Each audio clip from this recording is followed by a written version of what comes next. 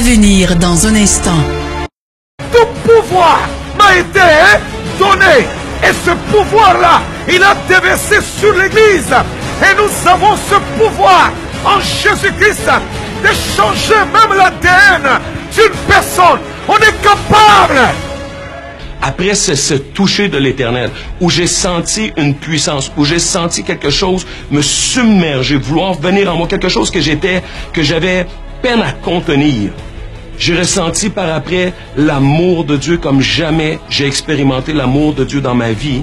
Je sentais une force rentrer en moi. Je me sentais très fort. Puis, depuis ce jour, et même depuis ce jour, parce que depuis que je suis rentré aussi dans ce ministère, euh, j'ai une maison, j'ai une entreprise, puis dans mon entreprise, je commence à avoir de nouveaux contrats, je commence... Soyez dans le milieu chrétien aujourd'hui, dans le milieu évangélique euh, ou chrétien en général, lorsqu'on voit une personne, un serviteur de Dieu manifester la puissance, on vous dira seulement faites attention. Ah, ça peut être l'occultisme. J'ai vu que dans la Bible, ce sont les gens qui avaient Dieu, qui montaient au monde, qui est le nôtre supérieur par rapport à ce que les autres avaient. Jamais dans l'histoire de la Bible, les chrétiens tremblaient devant les autres nations. C'était Israël qui était prospère. C'était Israël qui avait des hommes intelligents. C'était Israël qui avait un Dieu grand. Parce qu'ils ne comprennent pas qu'en Occident, on puisse prêcher l'évangile à quelqu'un. Il est jeune de la fleur de l'âge, jeune fille ou jeune garçon qui abandonne complètement le monde, la bouteille, les joies du monde et qui sont seulement à l'église. Ils disent. Qu'est-ce qu'il fait de ces gens-là? Je ne fais rien. J'ai juste la magie. Jésus-Christ. Jésus-Christ. Alléluia. Ton histoire est sur le point de commencer.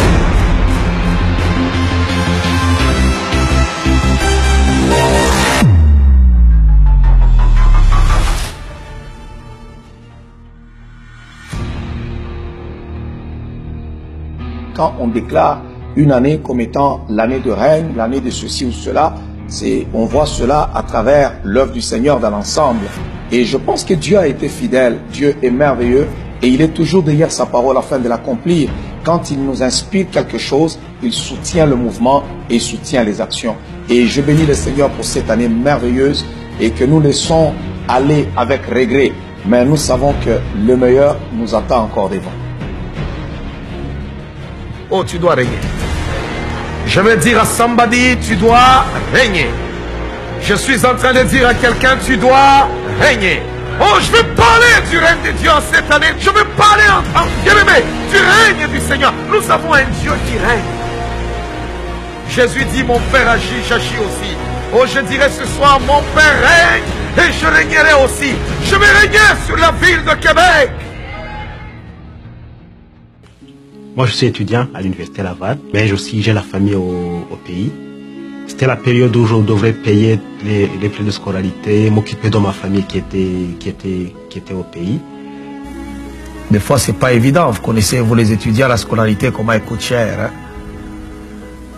Alors il dit, je devais l'argent. Comme de Dieu, c'est devenu compliqué. Il dit, la facture vient, non seulement, elle maintient le chiffre que je devais payer, mais ça devient encore plus. Puis moi, c'est la panique totale, je, je, je ne sais pas quoi faire, je ne sais pas euh, qui appeler, je ne sais pas...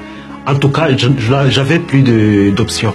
Et il dit, je pars, j'arrive là-bas, je dis, écoutez, pourquoi vous m'avez envoyé deux factures différentes?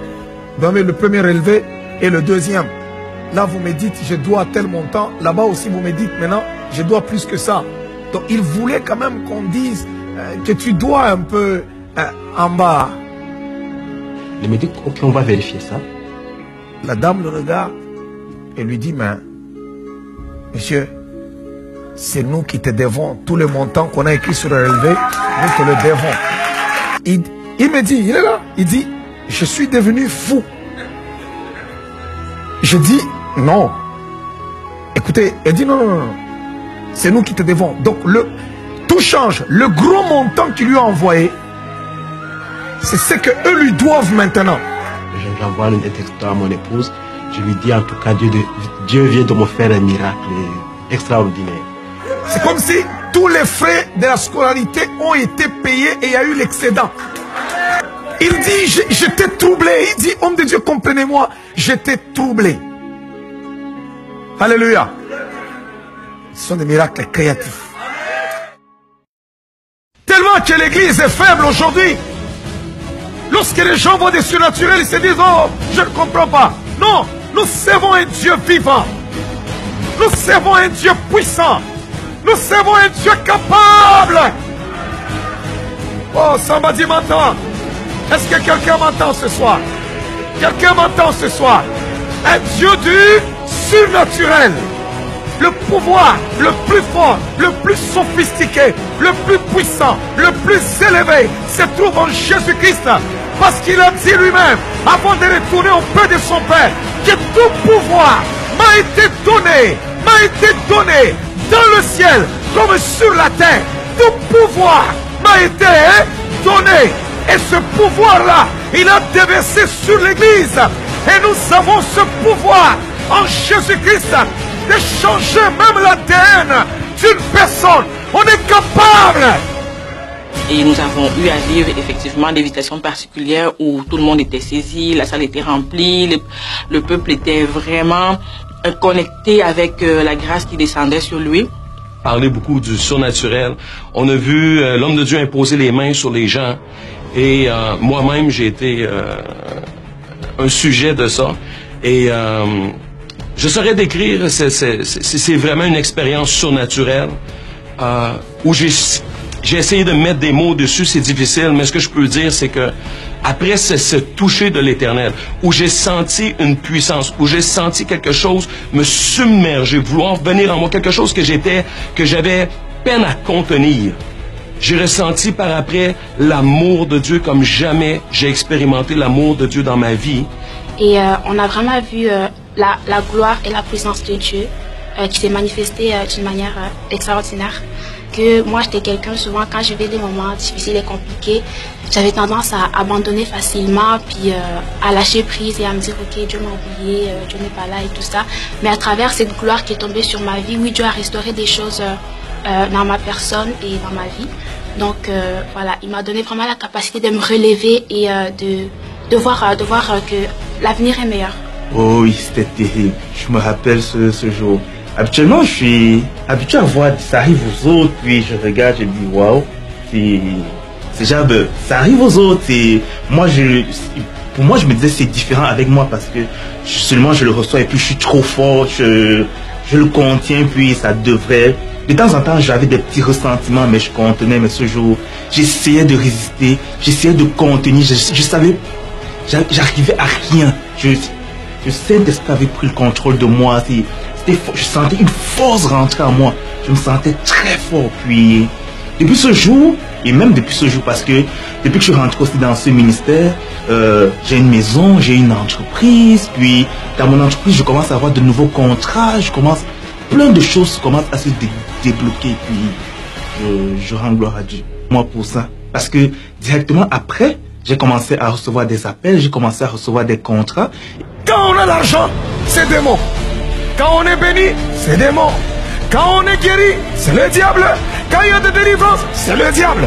Mais qu'est-ce que Dieu fait alors?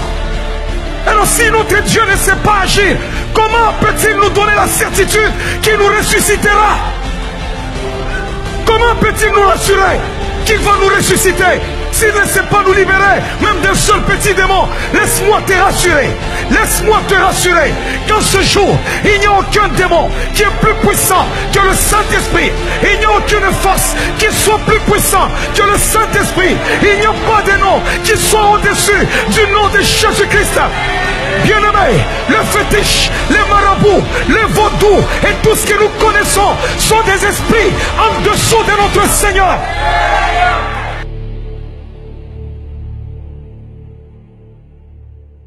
Savez, c'est une forte déclaration et euh, ça réveille un peu les chrétiens parce qu'aujourd'hui, dans l'église du Seigneur, lorsqu'on voit une personne prospérer, lorsqu'on voit une personne manifester la puissance, lorsqu'on voit une personne aller plus haut, on attribue même cela seulement au diable. soyez dans le milieu chrétien aujourd'hui, dans les milieux évangéliques euh, ou chrétiens en général, lorsqu'on voit une personne, un serviteur de Dieu manifester la puissance, on vous dira seulement faites attention. Ah, ça peut être l'occultisme. Si on voit une personne bénie, on vous dira oh, il faut faire attention. Est-ce que ces gens-là sont-ils dans des loges compliquées? C'est comme qui dirait notre Dieu ne fait plus rien. Notre Dieu doit rester pauvre. Les chrétiens doivent rester pauvres. Or, J'ai vu que dans la Bible, ce sont les gens qui avaient Dieu, qui montaient au monde, que le nôtre est supérieur par rapport à ce que les autres avaient? Jamais dans l'histoire de la Bible, les chrétiens tremblaient devant les autres nations. C'était Israël qui était prospère. C'était Israël qui avait des hommes intelligents. C'était Israël qui avait un Dieu grand.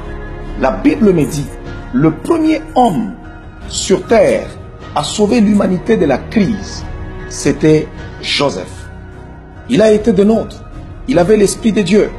Le premier homme à vivre une richesse extraordinaire, plus qu'aucune personne avant lui, et même après lui, ça a été Salomon. Il a été aussi un fils du royaume.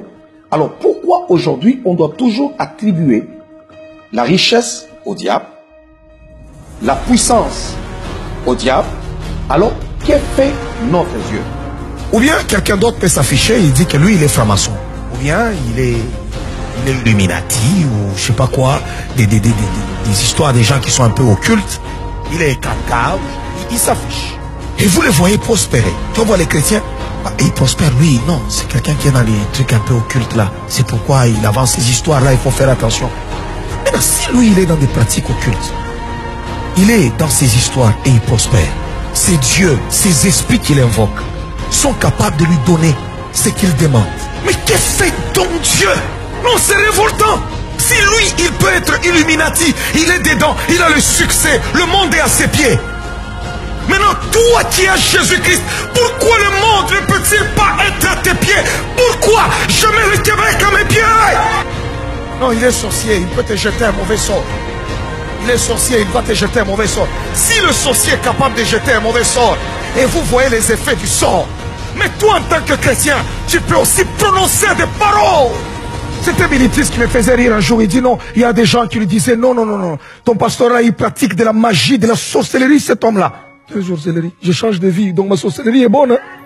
Donc elle est, très bonne. Depuis que la sorcellerie a bien changé une vie. Les sorciers mangent, détruisent, bouffent. Mais mon Dieu à moi, c'est parce que les gens sont incapables de comprendre ceci.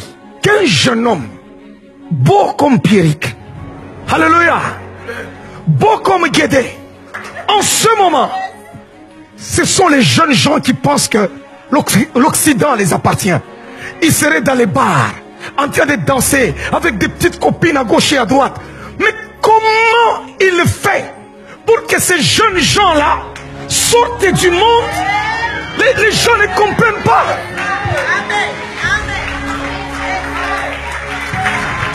Alléluia. Ils ne comprennent pas.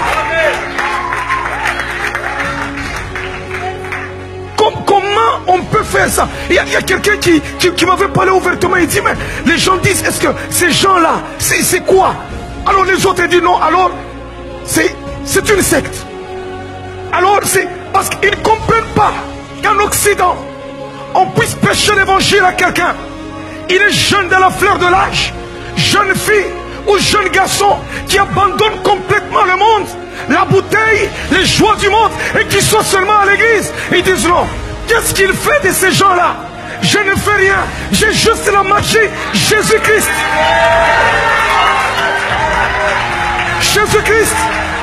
Je veux dire à quelqu'un, je veux répéter, que l'esprit que tu vas recevoir, l'esprit qui est en nous, est plus fort que l'esprit qui gouverne les occultistes de ce monde. Le Saint-Esprit que nous avons reçu est plus fort que la sorcellerie de ce monde. L'homme de Dieu m'a appelé, dit, ma fille, viens. Je suis venue. Je m'attendais simplement à ce que peut-être il me pose les mains. Mais là, il m'a mis sa veste sur moi. Je ne tenais plus, je ne prenais, je n'avais plus le contrôle parce que je me contrôlais un peu tout. Mais j'avais plus le contrôle de moi-même. Je me suis retrouvée en train de tourner euh, sur moi en rond. Et Mais c'était beau. Parce qu'après ça, je me suis sentie libre. Après les 21 jours de jeûne, je me sens libre. Libre, je, je parle beaucoup maintenant. J'arrive à exprimer plus ou moins mes émotions. Vraiment, il y a beaucoup de choses dans mon caractère qui ont changé. Et même ma mère me dit, mais Kadi, tu as, changé. J'ai dit, oui, maman, c'est le ministère Paul Mukendi. Un homme de Dieu est d'abord un homme spirituel. C'est un être spirituel. Parce que nous servons un Dieu qui est esprit. Et si tu n'es pas un homme esprit, comment peux-tu servir ce Dieu-là Alléluia. Un homme de Dieu puissant. Il faut savoir que lorsqu'on est serviteur de Dieu, on doit être initié au surnaturel. Alors, écoutez, en lisant ma Bible, lorsque l'Église était encore naissante dans ses débuts, les magiciens abandonnaient la magie. Les occultistes quittaient le monde des ténèbres pour venir adhérer euh, euh, euh, à l'assemblée des enfants de Dieu. Mais aujourd'hui, c'est le contraire. Nous avons peur des sorciers. Il suffit qu'on dise que tel est sorcier, tout le monde commence à avoir peur. Il suffit qu'on voit un serviteur de Dieu s'élever, automatiquement, on commence à chercher à voir pourquoi il devient prospère, pourquoi il réussit, d'où lui vient cette puissance-là. C'est comme qui dirait notre Dieu ne peut rien faire. Je viens à dire, Jésus-Christ, durant son ministère sur terre, a manifesté la puissance. Lorsqu'il a vu les aveugles, il a ouvert les yeux des aveugles. Lorsqu'il a vu les malades, il les a guéris. Lorsqu'il a vu les possédés, il les a délivrés. Donc nous, je me dis, nous ne pouvons pas servir ces dieux invisibles et puissants, ces dieux des surnaturels, lorsque nous-mêmes, en tant que serviteurs de Dieu, on n'est pas initiés au surnaturel. On a besoin du surnaturel pour vivre la gloire de Dieu sur cette terre. Le révérend Paul Mukendi, comment le Seigneur l'utilise Je le décrirai juste en disant, c'est mon papa, c'est mon deuxième papa. J'ai perdu mon père étant jeune, puis à parole de vie, j'ai retrouvé un nouveau papa. C'est difficile que je m'ouvre à quelqu'un, mais avec lui, je lui pose des questions, il me donne des conseils, même dans les trucs techniques de la vie, dans, la, dans les trucs comptables et autres, quand je prends des décisions, il me donne des conseils. C'est mon père spirituel et c'est mon mentor dans, dans le côté professionnel. C'est un homme, c'est un homme extraordinaire. Bon, je me rends vraiment à, l'évidence que Dieu et entend nos prières. C'est un Dieu qui est présent là à chaque jour et qui entend les moindres choses qu'on peut dire dans le secret. Et lorsqu'on les voit révélées au travers de son serviteur, l'apôtre Paul Mukendi, ça vient nous confirmer que Dieu nous entend, puis c'est c'est une démonstration de son pouvoir et de son amour envers nous. Il nous connaît. On dirait qu'il vit avec nous à tous les jours. Il va te voir, il va te faire une remarque qui est pertinente, qui est à point nommé par rapport à une situation, par rapport à quelque chose. C'est certain qu'il veille vraiment sur nous, puis on le voit, sa relation avec nous, sa façon de prier pour nous, sa façon de nous parler, on sent qu'il s'intéresse, il nous porte dans son cœur. Et un homme qui sert vraiment son Dieu avec son cœur. J'aime le fait qu'il est... Euh, qu'il est direct et qu'il dit les choses comme il faut le dire. Puis c'est un peu, je dirais, euh, comme une main de fer dans un gant de velours, parce que des fois, c'est des, vas-y, avance, c'est le temps, là, t'as, perdu trop de temps, faut que tu tailles de l'avant. Je dirais que c'est le manteau de Dieu sur terre, à Québec. Laisse que cette année, tendre Père, puisse ouvrir des possibilités? Que des grandes opportunités se présentent à eux. Seigneur, les uns pour les affaires, laisse qu'ils excellent. Laisse que tu leur donnes des capacités. Les autres pour la promotion dans leur domaine, laisse qu'ils réussissent au nom de Jésus. Les autres qu'ils avancent dans leur vie spirituelle. Les autres la délivrance, Seigneur, de leur vie. Les autres, tendre Père, que la solution à leurs problèmes leur soit donnée. Les autres, éternels des armées, accorde-leur des mariages les autres, Seigneur, accorde-leur la maternité. Seigneur, que cette année soit bénie et que cette année, du début jusqu'à la fin, puisse réserver des miracles au nom de Jésus-Christ. Tu es Dieu. Laisse que le roi sorte dans ces lieux et qu'il règne dans cette ville. Je proclame cela, que le roi règne dans cette ville, que les gens deviennent des millionnaires dans cette église, dans le nom de Jésus-Christ. Ah, je pense que le culte était très puissant. L'onction prophétique est là. Et euh, nous avons déclaré des choses et nous savons que par la puissance de l'Esprit de Dieu, que la vie est en train de revenir dans tous nos domaines de nos vies. Et nous glorifions Dieu pour cela. Si l'on croit au Seigneur Jésus-Christ, puis si l'on croit euh, en la parole de son serviteur, c'est sûr que nous verrons les choses s'accomplir parce qu'avec Dieu, tout est possible. Est-ce que ce culte revêt un caractère particulier pour vous? Pour moi, oui, ça a un, caractère particulier parce que c'est, je m'attendais pas à avoir quelque chose comme une prophétie aujourd'hui. Et euh, ce, culte a impacté ma vie de manière à ce que je puisse, euh, ce que je puisse vivre différemment. Ça, a impacté ma vie de manière à ce que Dieu puisse restaurer ma vie comme celle de beaucoup de monde ici. Le sens de ici, ben, ça dépasse tout ce qu'on peut imaginer. Ben, en fait, aujourd'hui, ça m'a rappelé que on est sur la terre à l'image de Dieu. Puis quand on est à l'image de Dieu, il y a aussi cette, cette chose qui fait que nous, on a la puissance de la création aussi en nous. Donc, nous, en tant qu'enfants de Dieu, aujourd'hui, ça m'a rappelé que oui, il y a des circonstances dans ma vie que Dieu nous a déjà donné l'autorité par nous-mêmes de proclamer, de déclarer des choses pour que ça arrive et de déclarer des choses aussi pour que ça arrête dans notre vie. J'ai la parole de la création sur ma langue. Je vais proclamer des choses que je vais voir. Et ces choses arriveront. Donc euh, c'était très fort aujourd'hui. Puis euh, on est béni d'avoir un homme de Dieu aussi puissant dans notre vie. Je suis en train de dire à la vie de quelqu'un, il y a un nouveau vent, une nouvelle pluie qui tombe maintenant sur ta vie. Une pluie de victoire, une pluie de percée, un vent de victoire qui tombe maintenant sur ta maison, qui tombe sur ta vie. Des choses changent, les situations changent. Tout ce qui était difficile devient facile maintenant. Il y a la grâce de Dieu sur tes affaires. Il y a la grâce de Dieu sur ta maison. Il y a la grâce de Dieu sur ton mariage. Il y a la grâce de Dieu sur tes enfants. Je relâche cela. Je relâche cela. Je prophétise sur la vie de quelqu'un que le Dieu des cieux va se manifester puissamment dans ta vie.